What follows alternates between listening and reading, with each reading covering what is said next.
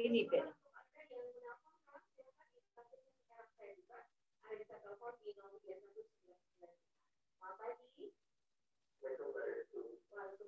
Oke, shalom, selamat pagi. Gimana kabarnya semuanya? Selamat pagi Miss V, terima kasih sudah hadir. Dan selamat pagi Bapak dan Ibu Guru serta rekan-rekan siswa sekalian.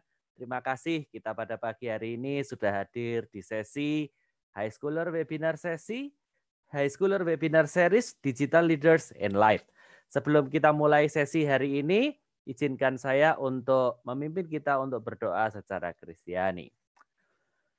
Tuhan Yesus, kami sungguh mengucap syukur kalau pada pagi hari ini Tuhan memberikan kesempatan untuk kami boleh berdiskusi, untuk mendengarkan materi yang disampaikan oleh Miss Faye Tuhan.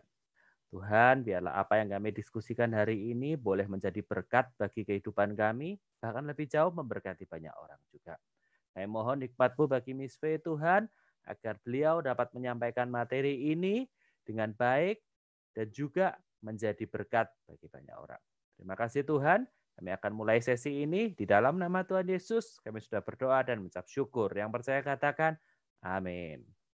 Hari ini kita akan berbincang dengan Miss Wei yang merupakan dosen di Strategic Communication.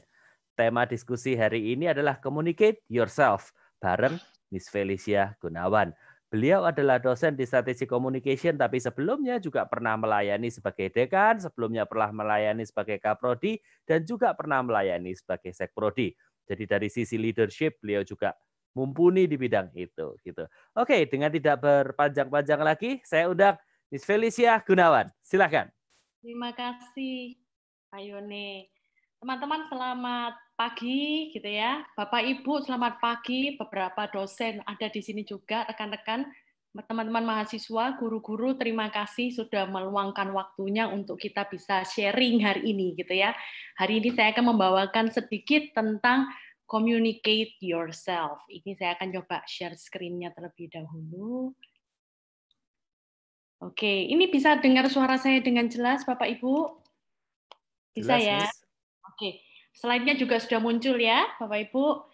Baik, tadi saya sudah diperkenalkan oleh Pak Yone, terima kasih. Saya sedikit mengulas sedikit tentang saya, begitu ya Bapak Ibu, bahwa saya S1-nya di manajemen marketing, S2 saya di media komunikasi UNER, dan uh, spesialisasi saya di strategic communication. Saya juga belajar tentang handwriting analysis, sekaligus saya belajar tentang behavior analysis, karena itu adalah part dari program yang akan diajarkan gitu ya di strategic communication. Jadi teman-teman hari ini saya akan membahas sedikit apa sih sebenarnya komunikasi itu, apa sih sebenarnya strategic communication itu ya. Kalau ada pertanyaan silakan ditulis di kolom pertanyaan yang ada di um, kolom chat ya. Oke. Baik. Kalau kita berbicara tentang komunikasi, ngapain kita harus kuliah komunikasi nih gitu ya? Kenapa kok uh, komunikasi itu penting? Kan setiap hari kita juga berkomunikasi gitu ya.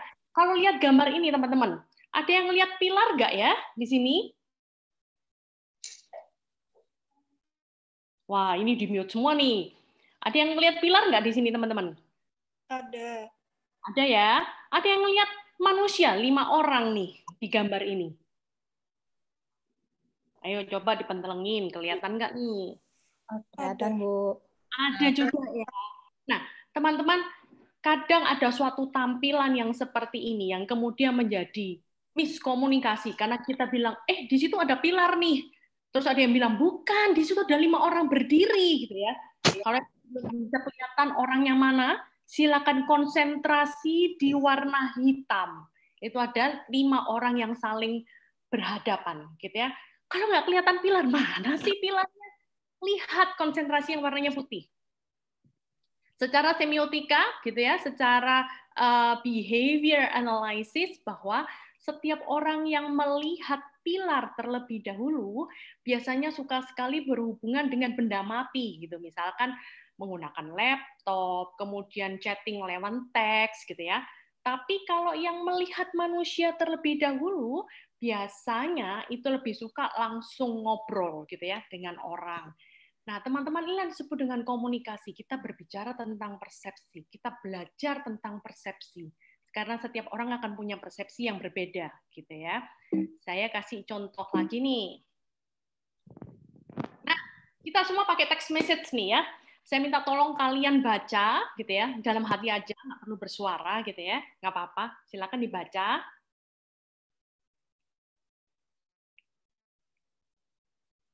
Sudah selesai dibacanya? Oke.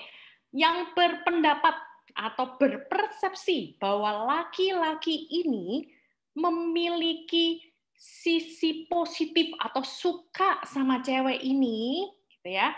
Boleh nih bersuara kalian kalian uh, bilang saya atau kalau nggak ada ya dia mute aja nggak apa-apa. Yang berpersepsi bahwa laki-laki ini menyukai perempuan ini. Adakah? Nggak ada nih ya. Oke, yang berpersepsi bahwa laki-laki ini tidak menyukai perempuan ini, ada yang mau bersuara? Loh, ini udah bersuara semua. Kebaca nggak nih ya? Kebaca. Kebaca ya? Kok nggak bersuara nih? Nggak punya pendapat nih, teman-teman? Ada, Bu. Stefani Victoria bilang saya. Ya bilang saya, oke, okay. ada yang berpendapat uh, ada negatifnya gitu ya. Oh, cowok ini enggak enggak ini nih, enggak memiliki tanggapan yang bagus. Coba saya bacakan ya teman-teman ya. Sudah makan, Bro. Sudah. Makan apa? Nasi goreng. Kamu? Ya, aku sudah juga, tapi aku makan ayam goreng. Oh, sibuk ya? Ya ini masih bagus, cowok ini menjawab YA titik. Biasanya cowok itu minimalis, jawabnya Y titik atau K titik. Nah, ini jawabannya YA titik. Masih ditulis lengkap. Coba saya ambil suara yang kedua. Sudah makan, bro? Sudah. Makan apa? Nasi goreng. Kamu? Ya, aku sudah juga, tapi aku makan em goreng. Oh, sibuk ya? Iya. Teman-teman, adakah perbedaan antara tadi yang pertama saat dia menjawab ya dengan ya? Ada perbedaankah artinya kira-kira? Ada. Ada ya. Nah, teman-teman perhatikan text message saat kita belajar tentang text message atau komunikasi, semua text message dibaca berdasarkan perasaan yang baca bukan yang kirim. Ya, jadi sekali lagi hati-hati. Text message hanya dibaca berdasarkan perasaan yang baca, bukan yang kirim. Kalau yang baca lagi jatuh cinta, bacanya kayak tadi.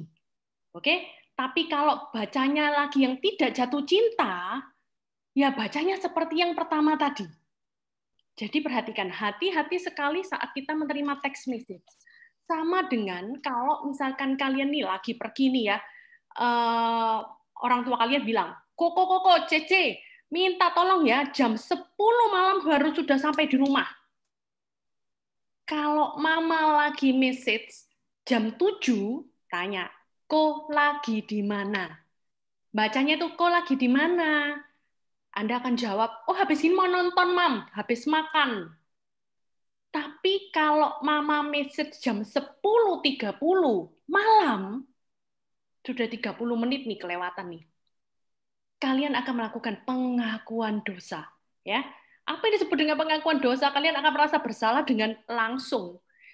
Tadi itu Mama Maria habis pulang gini, itu banjir ini, nganterin ini, nggak ketemu rumahnya, dan seterusnya.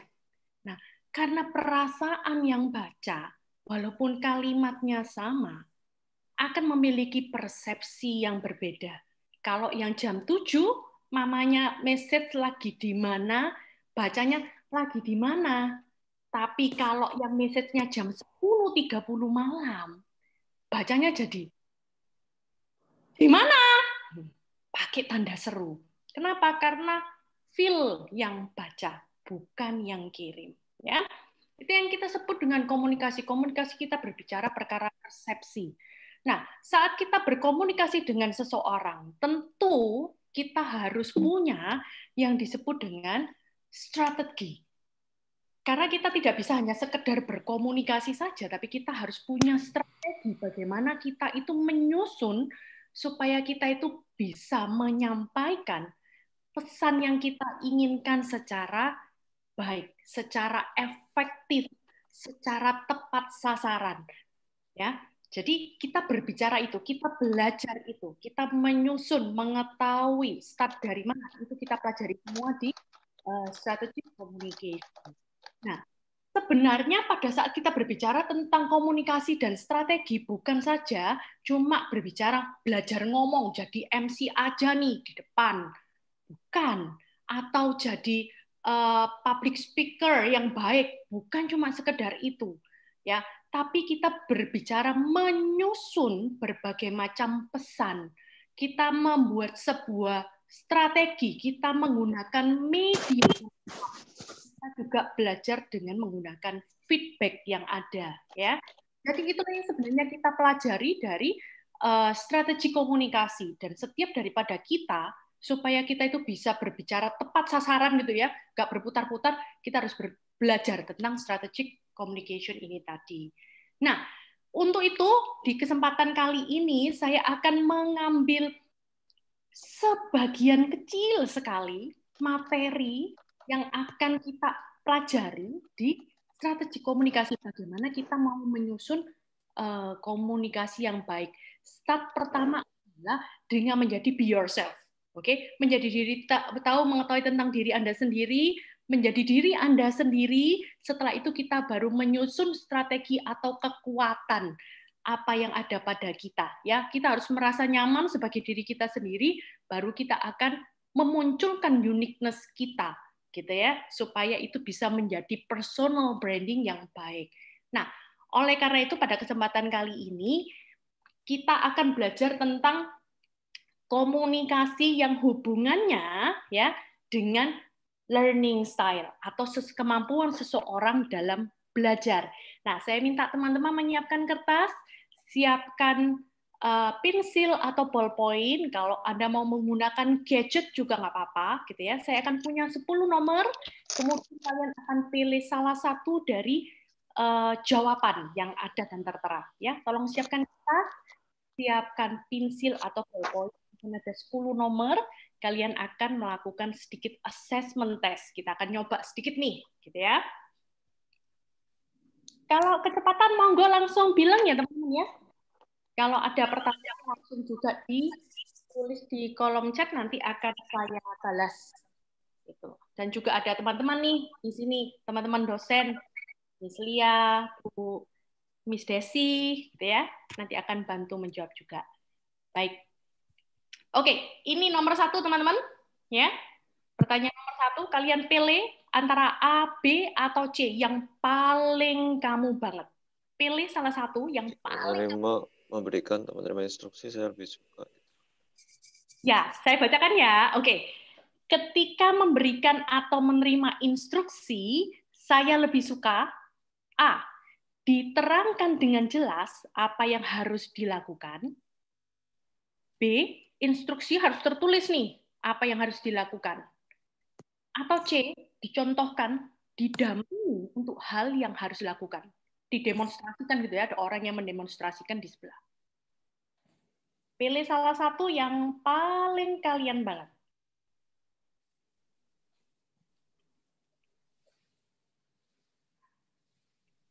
Oke, okay, next ya. Nomor dua. Ketika bertemu seseorang untuk pertama kalinya, saya memperhatikan A. Intonasi suara artikulasi dan kualitas suara serta pilihan kata, atau B, gaya berpakaian, kerapian diri, pilihan baju, kebersihan, atau C, salaman, postur, gaya berdiri, dan karakteristik fisiknya.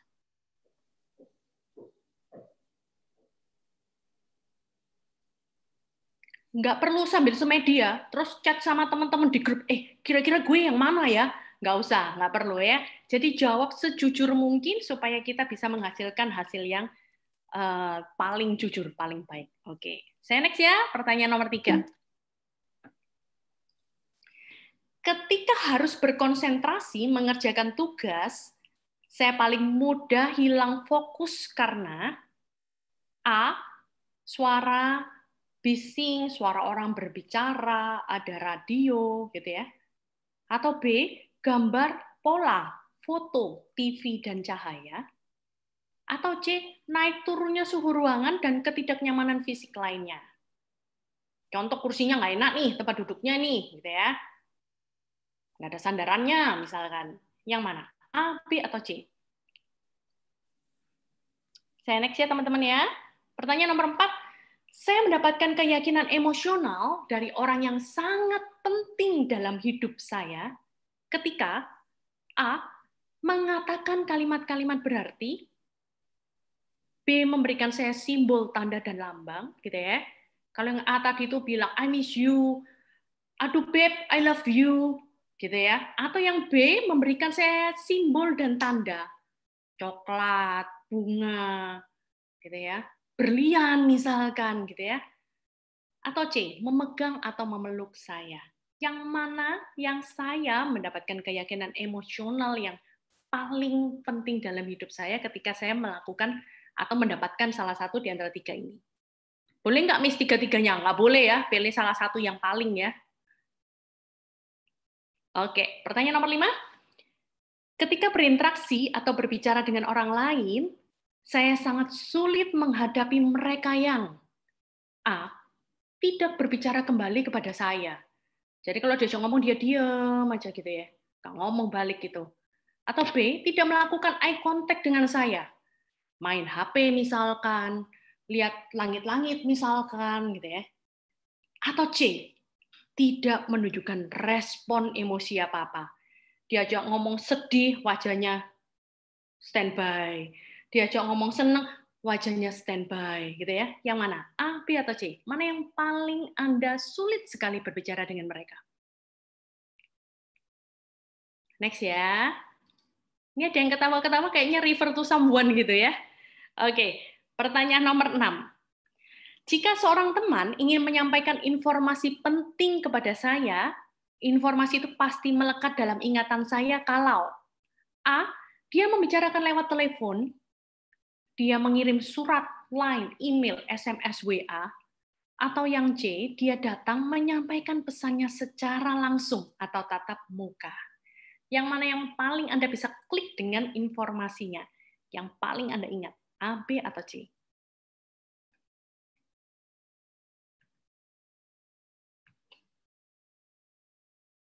Saya next. Oke, pertanyaan nomor tujuh.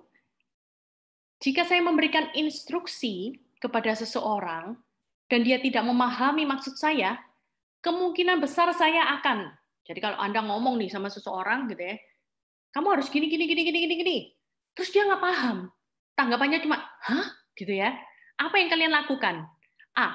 Memulai lagi dari awal dengan menggunakan kalimat yang berbeda gini loh D, maksudnya itu. Nah, kalimatnya beda. Atau B, mengambil pensil, menggambar diagram, dan menunjukkan membuat ilustrasi instruksinya. Ini saya masih ingat nih, Miss Lia ini paling sering melakukan seperti ini. Kalau ada mahasiswa nggak paham, itu langsung ambil pensil, gambar. Ini maksudnya begini loh ya, ini maksudnya begini gitu ya. Ya, harus menggambar gitu ya. Atau yang C, merasa terganggu, frustasi, kemudian mengulangi instruksinya.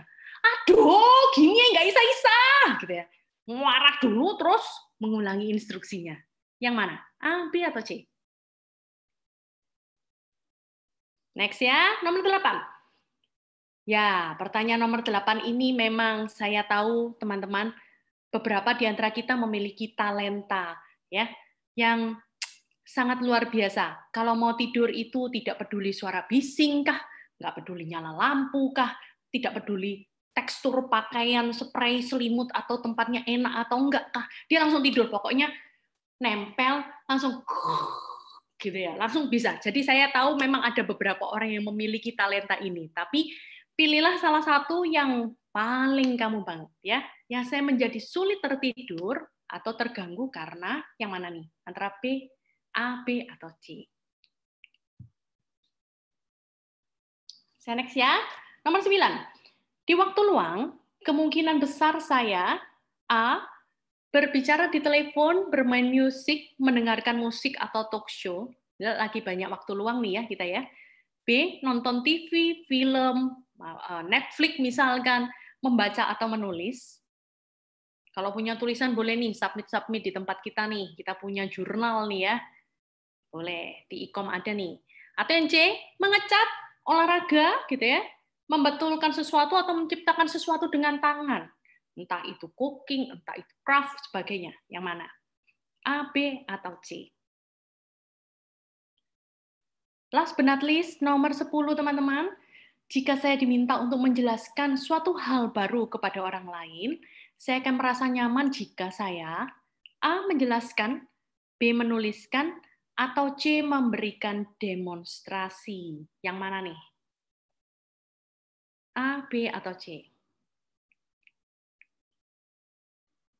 Oke, ada yang perlu diulangkah pertanyaannya nomor berapa? Semuanya sudah oke, teman-teman? Oke, sudah oke semua ya. Saya minta Anda menjumlahkan total A Anda berapa, total B Anda ada berapa, dan total C Anda ada berapa. Silakan dijumlahkan. Berapa A, berapa B, berapa C.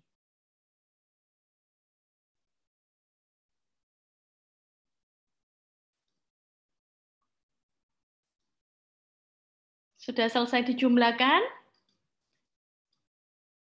Oke. Nah, buat teman-teman nih yang tertinggi A, ya, Anda punya learning style dengan cara auditori atau lebih banyak mendengarkan. Ya, salah satunya tadi itu ada teman yang uh, kelepasan nih, belum di mute dia baca. Nah, itu biasanya tipikal-tipikal orang-orang auditori gitu ya, pakai telinga. Nanti saya akan bahas satu persatu. Buat Anda yang tertinggi B, gitu ya. Anda punya learning style dengan cara melihat atau secara visual. Jadi, aduh ngapain sih pembicaranya pakai dibaca?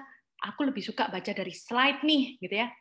Atau yang C kinestetik bergerak itu mengakibatkan beberapa orang di sini sudah duduknya sudah nggak bener nih ya, sudah goyang kanan, goyang kiri, terus uh, mic-nya dipegangi kanan kiri, gitu ya, klik klak klik kanan kiri karena dia kena kinestetik.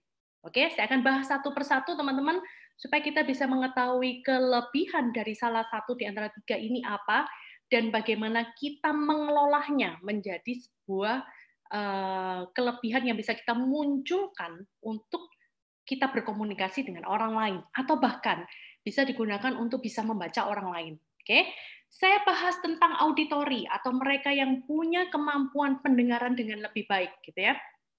Satu, lebih mudah memahami melalui bantuan suara dan musik atau informasi secara lisan. Ya, jadi biasanya orang-orang auditori itu kalau di diajak ngobrol gitu ya, kalau ada uh, musik gitu ya, mereka kan jauh lebih gampang untuk menangkap informasi tersebut. Contoh nih ya, ada beberapa teman-teman di sini yang saya yakin kalau ujian ya selalu pasang musik Terus orang tua kalian buka pintu. Cek, matikan musiknya, belajar. Begitu musik dimatikan, langsung nggak konsentrasi. Why? Karena itu tadi, lebih mudah memahami sesuatu, membaca sesuatu, belajar sesuatu dengan cara menggunakan suara. Nah, beberapa ciri-ciri atau yang bisa kita lihat dari orang lain nih ya, termasuk diri kita sendiri, bahkan nanti mungkin di rumah langsung ngeliat nih, mama, papa termasuk tipikal orang apa ya, adik termasuk tipikal apa, pacar termasuk apa nih. Kalau berbicara biasanya menggerakkan bibir. Ya, kalau berbicara harus menggerakkan bibir ya. Tapi kalau dia membaca, dia akan menggerakkan bibir. Jadi kayak orang komat kamit gitu. Jadi walaupun tidak bersuara, dia akan menggerakkan bibir. Jadi baca something gitu, dia akan mulutnya ngomong terus ya dan mengucapkan tulisan ketika membaca.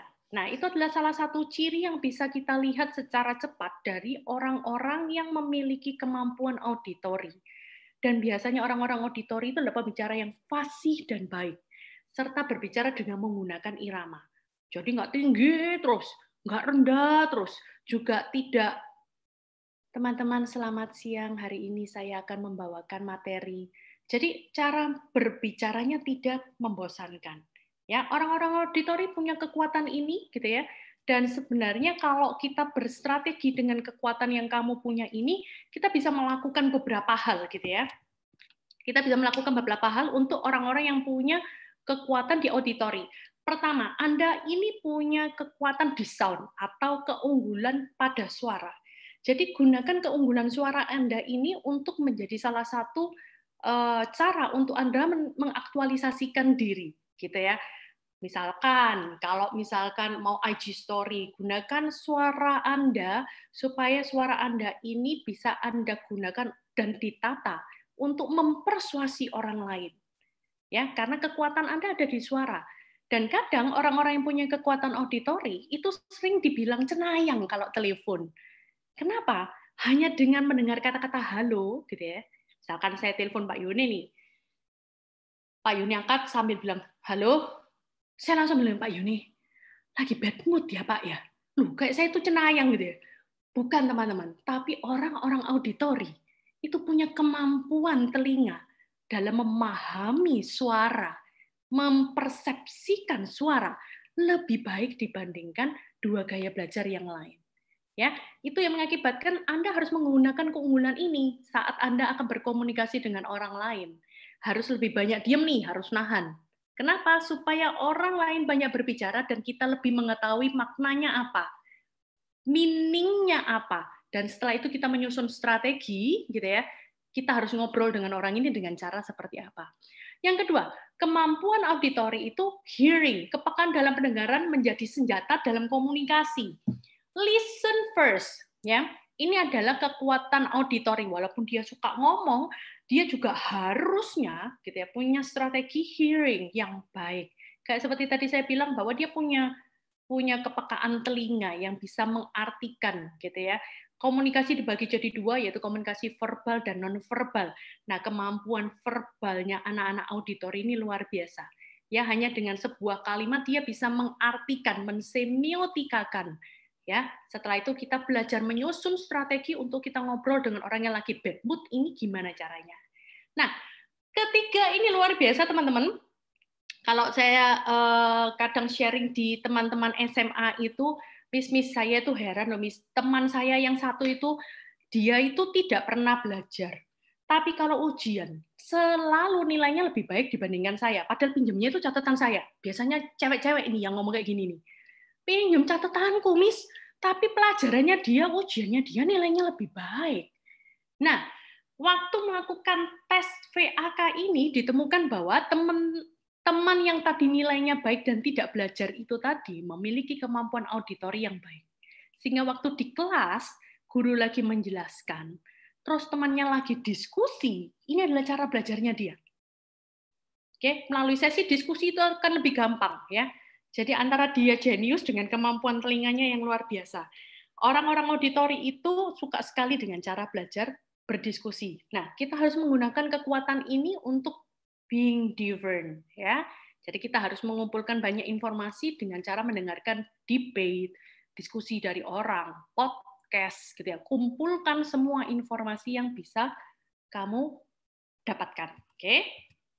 Saya next. Ini pilihan yang B nih visual penglihatan nih ya buat teman-teman yang visual penglihatan. Ada ya yang dapat nilai tertinggi B ya, teman-teman ya? Oke. Nah, punya ciri si visual ini ya. Satu, melakukan observasi saat harus melakukan sesuatu. Jadi kalau mau, ayo kamu silakan pergi ke sana, lakukan ini. Dia akan diam dulu terus sambil lihat. Ya, dia akan mengobservasi, dia akan stalking luar biasa gitu ya dia akan tahu dulu situasi dan medannya, baru mereka jalan. Oke? Dan hebat sekali, visual ini tidak terganggu dengan suara hiruk pikuk di sekitar. Mau sebelah itu bumi gonjang-ganjing dan ribut, dia tetap tenang, santai. Ya, selama dia bisa lihat dengan baik, dia akan bisa konsentrasi. Dia punya kemampuan yang handal dalam ruang, warna, grafik, dan mengingat tata letak dan lokasi serta senang membaca. Ya, ini adalah salah satu kemampuan visual. Jadi begitu melihat chart, gitu ya, lihat sebuah ruangan itu akan nempel. Kalau kalian pernah baca komik, gitu ya, di komik itu kan selalu akan ada bubble kalau seseorang berbicara. Nah, itulah visual. Saat berbicara sesuatu dengan orang visual, dia akan membutuhkan waktu untuk merealisasikan di dalam kepalanya. Nah, setelah dia bisa merealisasikan secara visual, dia akan hafal detailnya. Orang-orang visual itu biasanya kalau ujian ini punya ciri nih. Keluar pertanyaan ini, terus nanti waktu ujian akan mikirnya gini, aduh, tak tulis di halaman 8 pojok sebelah kanan warna merah, tak garis gede banget, tapi nggak hafal tulisannya apa. Cuma hafal tata letaknya. Nah, biasanya beberapa orang yang punya kemampuan visual warna dan tata letak, itu akan mengalami hal tersebut. Ya, ini adalah salah satu kelebihan dan uh, hal yang harus kita perhatikan dari teman-teman yang punya kemampuan visual. Nah, the power of visual, apa yang bisa kita lakukan pada saat kita berkomunikasi dengan orang lain gitu ya? Apa yang harus kita tonjolkan? Gunakan grafik, teman-teman. Ya, menggunakan data dan tampilan yang memukau. Nggak perlu teks terlalu banyak. Yang penting gambarnya, warnanya, ya hasil-hasil kalau Anda pernah penelitian itu muncul semua gitu ya simple, jelas, padat, bergambar. Oke, itu adalah kemampuan orang-orang yang memiliki kategori visual yang baik. Nonverbal communication visual itu juga luar biasa. Tadi kalau yang auditori jadi cenayang saat terima telepon, gitu ya. Orang visual ini jadi cenayang saat bisa melihat wajah seseorang. Kenapa? Secara nonverbal communication dia akan sangat mudah memahami perubahan yang ada di wajah. Wajah antara wajah ngantuk dengan wajah yang mendengarkan atau autopilot, orang visual mengetahui. Ya, akan sangat mudah memahami body language seseorang yang kita akan belajar nanti kalau Anda kuliah di strategi komunikasi gitu ya atau uh, stratcom, kalian akan belajar tentang apa yang disebut dengan body language.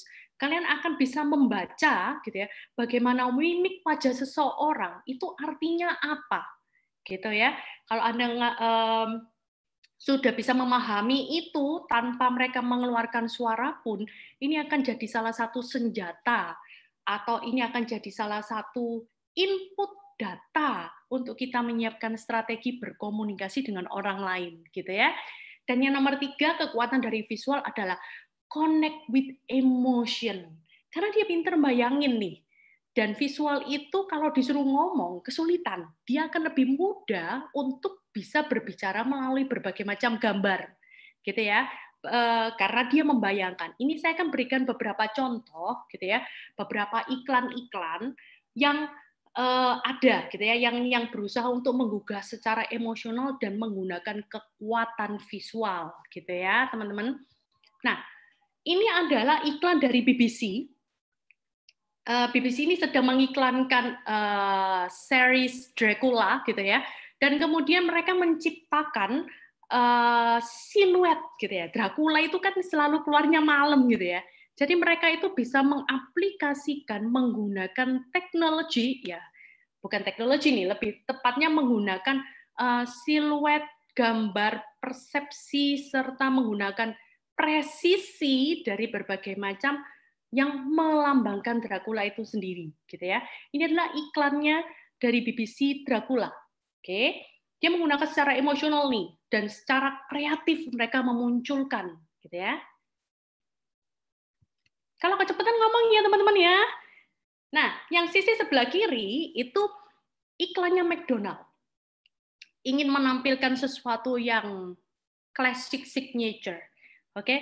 karena signature dan classic itu selalu digambarkan uh, dengan panggung opera, maka mereka pembuatnya yang tipikalnya seperti ini, gitu ya. Yang sisi sebelah kanan ini adalah iklan dari Nescafe. Jadi mereka menggunakan simbol-simbol, mereka menggunakan eh, hal-hal uh, kreatif untuk mereka membuat iklan. Ini kemampuan visual itu sangat luar biasa, bisa mengkombinasikan ini. Dan kita harus mempelajari itu ya. Nanti kalau di dalam uh, program strategi communication, kita akan berusaha untuk menciptakan pesan dan bagaimana sih kita harus menampilkan dengan cara membuat eksekusi yang baik supaya orang-orang atau audiens yang melihat itu langsung klik maksudnya apa. Contoh lagi gitu ya, uh, yang sisi sebelah kiri itu uh, Ini yang apa rambut, perawatan rambut. Oke, okay? jadi mereka menggunakan menggunakan cahaya background belakang, latar belakang dari landscape-nya, sehingga mereka bisa mengeluarkan tiga bentuk yang berbeda, yang bisa menggambarkan dari uh, produk itu sendiri. Yang sebelah kanan ini iTunes iPod ya. Jadi dia membuat simbol, logo, tanda dan lambang yang seakan-akan apa pun yang kamu inginkan, lagu-lagu yang kamu suka dari berbagai macam genre, itu akan ada dalam satu produk kecil ini tadi. Nah, ini adalah beberapa contoh gitu ya, yang kita bisa menggunakan kemampuan visual kita untuk kita menciptakan sebuah pesan dan mengeksekusinya dalam bentuk kalau ini contohnya iklan. Gitu ya, teman-teman ya. Nah, Nomor tiga, yang dari tadi saya lihat beberapa orang di sini kinestetik ini goyang terus gitu ya. Nggak apa-apa, goyang it means alive untuk orang-orang kinestetik. Kinestetik punya beberapa ciri karena dia bekerja dan belajar dengan cara bergerak. Satu, kalau berbicara itu perlahan-lahan. Kalau disuruh ngomong, eh, teman-teman hari ini saya akan cerita sedikit tentang kinestetik. Dibandingkan ngomong, dia akan jauh lebih suka bergerak. Langsung do things Terus menghafal dengan cara melakukan terlebih dahulu dan melihat. Kalau dia nggak pernah melakukan, dia nggak pernah kena, dia tidak pernah melihat, ya. Walaupun dikatakan jangan itu bahaya, dia akan tetap terus melakukan, ya. Tapi setelah dia melakukan, dia akan menjadi orang pertama yang bisa mengabarkan bahwa itu boleh atau tidak boleh, karena dia akan hafal sekali bagaimana caranya untuk uh, treatment itu tadi ya. Nah ini nomor tiga suka menyentuh objek objek. Ramah rajin menjamah. Ke mana-mana pelak halo pelak pegang ya. Terus benda-benda gitu iseng. Tangan tuh bisa pegang. Dipegang dilihat gitu ya. Nggak belum tentu beli sih ya. Tetap aja dipegang. Kenapa? Karena dia punya kemampuan untuk bisa menghafal atau bahkan harus bisa melihat dengan cara menyentuh untuk bisa mengetahui karena kinestetik. Kesulitan menulis tetapi hebat dalam bercerita. Kalau disuruh buat proposal gitu ya, proposalnya cuma dua halaman, tapi kalau cerita bisa satu setengah jam. Oke, kenapa? Itu tadi ya, karena dia lebih banyak bergerak. Saat kita punya kinestetik atau uh, kemampuan bergerak yang cukup tinggi gitu ya, apa yang bisa kita lakukan gitu ya. Kita punya kekuatan pada kinestetik untuk kita bisa berkomunikasi dengan orang lain. Satu, kinestetik itu physical memory-nya bagus sekali. Kemampuan mengingat setelah dilaksanakannya bagus. Jadi setelah belajar pertama kali, sisanya dia sudah tidak perlu lagi di get line. Dia bisa jalan terus dan bahkan dia bisa mengembangkan dengan lebih baik dibandingkan orang lain. Ya, dia butuh waktu itu tadi. Jadi sehingga yang perlu kalian lakukan buat teman-teman kinestetik saat kita mau berkomunikasi dengan orang lain, nyoba dulu setelah itu kalian akan jalan jauh lebih cepat dibandingkan yang lain. Nah, yang kedua adalah quick eh, reaction, cepat sekali merespon. Orang-orang kinestetik itu daya responnya itu ya belum bumi itu goyang, dia sudah jalan, sudah lari dulu. Bumi belum goyang nih, gitu ya. Tapi dia bisa me, apa, apa ya merasakan punya memiliki intuisi. Begitu keluar stimulus dia langsung bisa uh, melakukan berbagai macam strategi dan langsung melibatkan action. Bukan cuma lagi strategi tapi dia langsung bisa uh, do action. Nah ini kita harus belajar. Do action tuh harus penuh pertimbangan quick respon tapi dengan strategi supaya tidak menghasilkan hal yang buruk gitu ya dan yang ketiga adalah excellent experimenters atau kemampuan dalam bereksperimennya sangat luar biasa dibandingkan gaya belajar yang lain. Dia akan nyoba terus deh tanpa tanpa kenal lelah gitu ya. Dia akan terus mencoba dan ini merupakan kekuatan dari kinestetik yang bisa kita ambil atau kita pelajari gitu ya teman-teman ya. Nah, pertanyaannya sekarang, Teman-teman, apakah Anda setelah sudah mengetahui kinestetik auditori maupun visual, Anda sudah siap untuk menciptakan sebuah strategi untuk diri Anda sendiri untuk membuat diri Anda ya memiliki personal branding yang baik. Nah, hal-hal ini akan kita pelajari semuanya di program strategik komunikasi. Kita akan belajar itu di dalam untuk kita bukan cuma sekedar membranding diri kita sendiri, bahkan kita harus membranding company, maupun kita harus membranding uh, apa namanya perusahaan-perusahaan maupun negara. Kita harus menyusun strategi bagaimana berkomunikasi yang baik dan efektif. Nah, teman-teman, ini pertanyaan yang harus kalian jawab, kalian renungkan gitu ya, supaya nanti bisa membantu kalian untuk deadline menuju ke mana nantinya gitu ya. Startnya dari sekarang gitu ya. Gitu. Sekian teman-teman dari materi dari saya. Saya kembalikan ke Pak Yoni atau teman-teman jika ada pertanyaan saya akan menjawab. Terima kasih banyak Miss V untuk paparannya. Jadi menarik sekali ya. Jadi ternyata kalau yang di kelas belajarnya sambil goyang-goyang terus itu bukan karena dia bosan, tapi memang itulah caranya dia belajar. Dia tidak bisa diem gitu ya memang Bu ya. Betul Pak, karena itu okay. adalah yang paling efektif gitu ya untuk dia. Tapi biasanya sering sekali ya nanti ada guru yang bilang ini mungkin di sini ada guru-guru juga Bapak Ibu kita mungkin ini juga jadi insight untuk untuk kita gitu ya saya sebagai pengajar juga itu yang di belakang jangan goyang-goyang ya Loh, itu kalau anak-anak kinestetik nggak boleh goyang itu Bapak Ibu itu namanya autopilot. Dia diem sambil ketip ketip. No itu autopilot. Ya, berarti dia nggak bisa masuk semua materinya. Demikian. Oke, baik Miss. Ini saya lihat di chat ada beberapa pertanyaan yang muncul gitu ya. Yang pertama terkait dengan tes tadi, itu ada yang bertanya, ada beberapa dari mereka nilainya itu kembar gitu ya. Ada 442 gitu. Nah, itu kira-kira gimana, Miss? Oke, jadi teman-teman begini, kalau misalkan ini ada saya lihat ada beberapa oh, saya A dan B-nya sama nih, A saya dan C-nya sama, B dan C-nya sama. Tidak apa-apa, bukan berarti kalian multiple disorder, bukan ya. Tapi dengan Anda punya dua gaya belajar ini, mengakibatkan kita bisa menggunakan dua kekuatan ini menjadi satu. Sehingga kita saat menyusun strategi akan jauh lebih kompak, lebih baik. gitu ya. Nah, uh, tapi bakal kesulitan nggak ya kalau saya punya dua gaya belajar? Bisa jadi kelebihan, bisa jadi kesulitan saat kita tidak pernah menggunakan atau melatih itu dengan baik. Harusnya jadi kekuatan karena kita bisa mendengarkan sekaligus kita bisa memvisualkan pada waktu yang bersama-sama gitu ya gitu kalau oke jadi itu bisa justru jadi kekuatan gitu ya karena dia punya dua pendekatan yang memfasilitasi dia untuk bisa belajar bukan hanya satu gitu ya Miss ya jadi yang kalian punya nilai kembar, tidak usah khawatir, tetap semangat gitu ya. Kamu punya dua tools untuk belajar. Oh ternyata menjelang akhir ini banyak pertanyaan yang muncul. Mungkin karena waktunya terbatas nanti tidak bisa semua saya bacakan gitu ya, Miss ya. Oke, ini ada pertanyaan dari saudara Marcel Wira Dinata. Selamat okay. pagi, saya ingin tanya Bu, bagaimana untuk tetap berbicara dengan orang yang pasif, strip agresif dengan kita? Nah, ini maksudnya mungkin um, orang yang pasif atau agresif. Kalau pasif dan agresif bersama-sama kok kayaknya ke anu ya, mungkin. 180 derajat. Jadi kita akan harus sekali menyusun gitu ya. Kita harus tahu kalau dia tipikal orang yang pasif gitu. Ini ini materinya karena baru gaya belajar. Kita belum berbicara tentang uh, personality ID kita ya. Nah, kita harus belajar bahwa orang-orang pasif itu punya comfort zone. Punya apa namanya eh, pagar-pagar uh, yang tidak boleh disentuh gitu ya.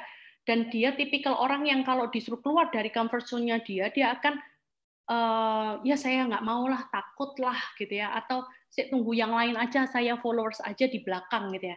Nah itu kita harus mengetahui dulu apa yang menjadi sebabnya sehingga kita bisa encourage seseorang untuk masuk ke dalam tempat kita atau keluar dari kotaknya. Jadi kita harus tahu dulu why-nya.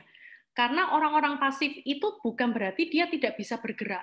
Orang-orang pasif bukan berarti tidak bisa dimotivasi ya tapi bagaimana kita mengetahui mereka? Berstrategi untuk kita itu bisa membuat mereka berjalan. Karena itulah kita harus belajar ya. Ini karena waktunya sangat sempit tapi orang pasif dan agresif bisa. Sangat bisa kita mengajak mereka berbicara. Yang agresif kalau ngomong nyerontong terus bisa. Ada teknik-teknik atau strategi-strategi cara kita cutting sebuah pembicaraan ya jadi kita nanti itu akan pelajari karena ini waktunya cukup sempit, tapi saya jawab sangat bisa, sangat bisa dan uh, untuk tetap bisa berbicara dengan orang yang pasif ataupun agresif dengan kita sangat bisa. Cuma harus tahu selanya di mana, masuknya di mana supaya tetap menghormati mereka. Gitu. Gitu Baik, Pak. Miss. Ini ada pertanyaan dari saudara Yusuf Wisesa, tetapi ini nampaknya tadi sudah terjawab tentang kemampuan lebih dari satu. Ini ada pertanyaan menarik. Maaf, dari David Vincentius. Bu, saya dulu pernah mengambil tes yang sama. Terus learning style saya masuk kinestetik. Tetapi sekarang saya masuk auditori. Yang benar yang mana, Bu? Oke, jadi begini teman-teman pada saat kita punya satu learning style gitu ya misalkan ada sekitar eh, tiga empat bulan yang lalu atau satu tahun yang lalu kita melakukan tes yang sama terus kemudian kalau si David ini dia start dengan uh, kinestetik gitu ya kemudian hari ini tes masuk ke auditori apakah terjadi perubahan itu boleh. Yang benar yang mana? Karena bisa jadi dua-duanya benar ya. Dua-duanya bisa jadi benar. Loh berubah banget dong bisa jadi karena learning style kita itu di usia di atas 12 tahun kita akan dipengaruhi oleh kondisi situasi dan lingkungan. Ya, kalau dalam pendidikan SD, SMP, SMA, kinestetik kita biasanya diperkecil, dipersempit. Tapi lebih diperbanyak auditori dan visualnya. Karena ada pelajaran mencongak lah, kemudian ada pelajaran mencatat lah, tapi kinestetiknya biasanya bermain dengan lab serta olahraga. Nah, ada ada kemampuan untuk bergeser seperti itu ada. Atau yang kedua bisa jadi karena saat mengisi saat mengisi kuesioner tadi ada perbedaan tipis antara surga dan neraka gitu ya. Karena bisa bilang, oh saya tipikal orang ini, tapi saya pengen yang jadi orang kayak ini. Nah, itu sudah langsung berubah, bergeser. Harusnya kan apa yang ada sekarang bukan yang saya pinginkan. Gitu. Gitu kalau untuk ini. Jadi dua-dua seharusnya benar, tinggal lihat bagaimana caranya tadi mengisi. Apakah sangat jujur terhadap diri sendiri. Gitu David? Oke. Baik, Miss. Uh, ada cukup banyak pertanyaan, tapi karena waktunya habis, saya kasih satu pertanyaan lagi ya, Bu ya, yang menurut saya sangat menarik ini, Miss. Ini dari Monica. Miss, saya mau tanya, jika saya cenderung auditori yang katanya Miss kekuatannya dapat menjadi pembicara yang baik, namun saya masih kurang dalam komunikasi. Apa itu karena belum mengenal diri sendiri atau belum pernah dilatih dan hal ini bisa dilatih atau tidak, Miss? Untuk Monica, jangan lupa Anda bergabung dalam program eh, strategi komunikasi. Kenapa? Karena kalian di sini nanti akan belajar bukan cuma sekedar mengenali diri Anda, tapi kalian belajar untuk melihat, melatih, mengembangkan gitu ya. Karena kalau dikatakan saya orang auditori tidak bisa jadi pembicara evasi, yang baik? Bukan. Kenapa? Karena semua daripada kita seharusnya bisa, tapi dengan style kita yang berbeda. Perlu latihan nggak? Pasti perlu, karena practice makes perfect. gitu. Banyak sekali pertanyaan teman-teman, nanti kalau misalkan masih belum bisa terjawab, boleh nih tanya di uh, eh, IG icom underscore UKP, gitu ya, yang nanti bakal uh, kami jawab satu persatu gitu ya. Tidak apa-apa, ditanyakan di situ. Ini pertanyaannya bagus-bagus banget gitu ya. Terus ini tadi saya sempat lihat Pak Yoni, saya uh, tertarik dengan Jessica nih. Apakah seorang introvert bisa mengikuti jurusan strategi komunikasi? Teman-teman di prodi uh, strategi komunikasi itu tidak melihat Anda ekstrovert ataupun introvert semua kekuatan kepribadian Anda itu akan menjadi ciri khas yang tidak dimiliki oleh orang komunikasi yang lain. Sehingga di program ini kita akan membuat Anda menjadi lebih maksimal, menjadi diri sendiri, dan memiliki kekuatan yang tidak dimiliki oleh orang lain. Uniqueness. Dan Anda jadi nyaman terhadap diri sendiri. Jadi itu yang sebenarnya nanti kita akan pelajari di program ini. Begitu. Baik, terima kasih banyak Miss. Terima kasih untuk rekan-rekan yang sudah bertanya. Sekali lagi untuk yang masih punya pertanyaan belum terjawab, nah bisa chat atau DM di Instagramnya ikom, yaitu at ikom underscore UKP. Oke, sebelum saya mengakhiri sesi ini, izinkan saya untuk sebelumnya nih, saya ya. mau kasih challenge ke teman-teman. Boleh ya? Kasih challenge Silakan. ke teman-teman Uh, saya akan share screen lagi, Pak Yoni, boleh ya? Oke. Okay. Maaf, saya akan share screen lagi. Teman-teman, saya akan memberikan challenge kepada teman-teman yang lain gitu ya. Nah, challenge-nya adalah kita akan challenge di Instagram Story, oke? Okay? Nah, ada beberapa hal yang harus kalian lakukan. Pertama, presenting yourself di Instagram Story-mu, ya. Terus yang kedua, jangan lupa follow at ecom underscore UKP dan pastikan Anda tag. Ya, jangan cuma buat story, kalian tag, buat hashtag, tapi tidak follow. Ya, ini adalah syaratnya. Kemudian jangan lupa berikan hashtag strategic communication, communicate yourself, ecom UKP. Nah, di situ ada deadline-nya, teman-teman. Ya, deadline pengumpulannya hari ini tengah malam. Ya, jangan lupa kalian bisa menciptakan Instagram story about yourself dari hasil yang sudah kita buat tadi ya. Kita buat tadi uh, kalian sudah melakukan tes auditori visual kinestetik jadikan itu merupakan salah satu dari kelebihanmu. Kemudian jangan lupa follow IG Ecom jangan lupa tag kami oke? Okay? pastikan tiga hashtagnya ini tertulis teman-teman. Deadline-nya tengah malam nanti. Sekreatif mungkin Ya, just be yourself, paling nyaman karena itu adalah cara kamu berkomunikasi yang baik. Nah, bukan cuma sekedar itu teman-teman, hari Sabtu nanti, hari Sabtu pukul 6 sore akan kami DM direct message ke teman-teman yang menang atau dipilih yang terbaik dan kalian akan mendapatkan uh, hadiah gitu ya. Oke, pulsa 50.000. Oke, jangan lupa teman-teman sekali lagi deadline-nya tengah malam hari Sabtu pukul 6 sore nanti akan umumkan kalian akan DM siapakah temennya siapakah yang the best. Saya yakin all of you the best. Tapi kami akan pilih yang sesuai dengan syarat-syarat yang tadi. Begitu. Oke terima kasih Pak Yoni. Itu tadi. Terima kasih Miss Faye Oke, sebelum kita akhiri, izinkan saya memperkenalkan UK Petra secara sekilas, gitu ya. Universitas Kristen Petra berdiri pada tahun 61 sehingga dalam waktu dekat kita akan merayakan ulang tahun kita yang ke-60. Tentu saja perjalanan selama 60 tahun ada cukup banyak prestasi yang bisa dicatatkan oleh UK Petra. Antara lain, UK Petra merupakan perguruan tinggi swasta yang terakreditasi A, Tiga tahun berturut-turut, Universitas Kristen Petra merupakan perguruan tinggi swasta terbaik di Indonesia versi Kemenristek Dikti dan juga menurut uh, penghargaan yang diberikan oleh LL Dikti Wilayah 7, Universitas Kristen Petra mendapatkan penghargaan Anugerah Kampus Unggulan. Selain akreditasi dalam negeri, program studi teknik yang ada di UK Petra juga terakreditasi internasional melalui IAP. Begitu juga untuk program studi yang lain sedang dalam proses untuk mendapatkan akreditasi internasionalnya. Universitas Kristen Petra memiliki visi a caring and global university with commitment to Christian values. Christian values yang kita perjuangkan kita singkat menjadi LIGHT, yaitu love, integrity, growth, humility, and truth. UK Petra memiliki 31 pilihan program studi untuk S1, 5 program studi S2, dan satu program studi untuk S3. Kita berjejaring dengan lebih dari 90 universitas di berbagai negara untuk memberikan kesempatan kalian bisa student exchange, joint degree, maupun double degree. Kalau kalian ingin menjadi mahasiswa di UK Petra, tersedia kesempatan untuk mendapatkan beasiswa hingga 100%.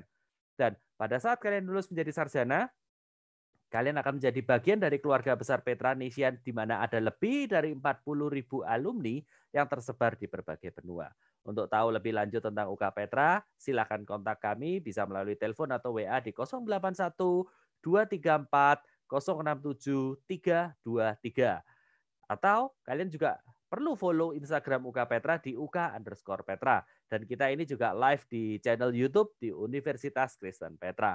Terima kasih banyak untuk sesinya. Terima kasih Miss Faye, terima kasih Bapak Ibu guru dan Bapak Ibu dosen yang sudah bergabung. Terima kasih untuk rekan-rekan sekalian yang sudah bersama kita selama 45 menit yang lalu. Sukses selalu untuk kalian. Sampai jumpa lagi. Tuhan Yesus memberkati. Terima kasih. Terima kasih teman-teman. See you soon.